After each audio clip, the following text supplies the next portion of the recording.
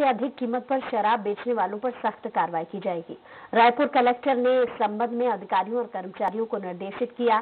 सलाहकार समिति के सदस्यों और कलेक्टर ने अवैध शराब बिक्री पर ठोस कार्रवाई करने के लिए आबकारी उड़न दस्ता दल को लगातार निरीक्षण करने के लिए निर्देश दिए।